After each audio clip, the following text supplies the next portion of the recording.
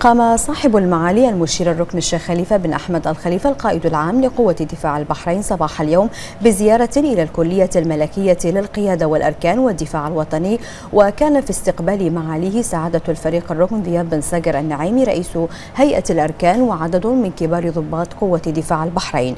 في بداية الزيارة استمع صاحب المعالي القائد العام لقوة دفاع البحرين إلى إيجاز عن سير تنفيذ الخطط التطويرية لبرامج الكلية الملكية للقيادة والأركان والدفاع الوطني والتي ظهر أثرها على مخرجات الكلية وجودة التدريب العسكري الراقي فيها.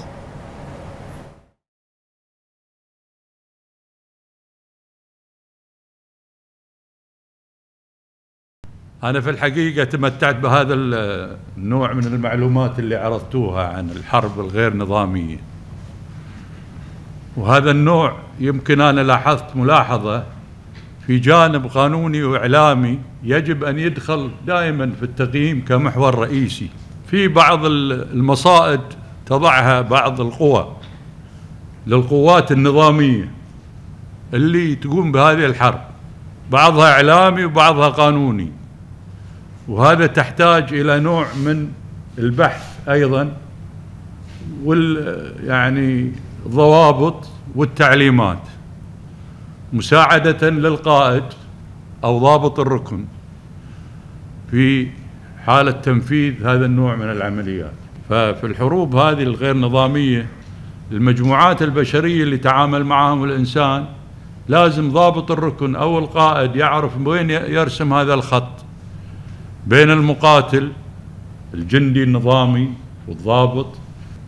فهذا النوع من التشريع إذا إن شاء الله يعني اكتمل في قواتنا المسلحة في دول مجلس التعاون. بيساعدنا إحنا في يعني يمكن مرونة العمليات العسكرية في التعامل مع التهديد. الناحية الثانية الناحية الإعلامية. الناحية الإعلامية أيضا تحتاج إلى نوع من إعادة النظر في طريقة التعامل مع الإعلام. يعني الإعلام العسكري لازم يكون أقوى شوي في الميدان. ما نعتمد على الإعلام المدني مثل ما هو مغطي الآن الأحداث. وصول المعلومة أحيانا إلى الرأي العام العالمي دائما إذا تلاحظونها يوصلونها بالغلط. يخلون إحنا قواتنا إحنا اللي غلطنا وهم اللي غلطانين. فالجانب الإعلامي أيضا مهم. الجانب الإعلامي العسكري لازم يكون بمستوى احترافي يوصل وينقل الصورة الصحيحة. ما هو للمواطنين اللي فقط اللي موجودين. لا حتى إلى أهالي العسكريين وإلى العالم الآخر. يعني وسائل الإعلام اليوم في الأخبار وسائل التواصل الاجتماعية أحيانا توصل الخبر قبل لا أنت تطلع فيه بيان كعسكري. فلازم يكون الإعلام العسكري يسبق ذي المجموعة.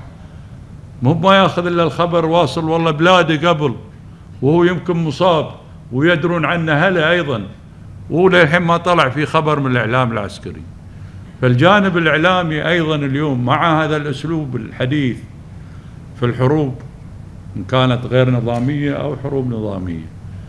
بس أغلبها يعني اليوم إن شاء الله يعني هذه الدروس في دروس كثيرة مستفادة من هذه النوع من الحروب. بس أنا ركزت على هذه النقطتين أنا متأكد أن الإخوان ناقشوها وهذا العسكري لازم يستعد له بكل الوسائل إن كان في التدريب أو مثل ما ذكروا الإخوان في تجهيز القوات أو في النواحي القانونية أو في النواحي الإعلامية أو النفسية. يعني في أي مجال الإنسان يحضر نفسه للدخول في هذا النوع من الحروب. فأتمنى إن شاء الله بحوثكم أنها تستمر.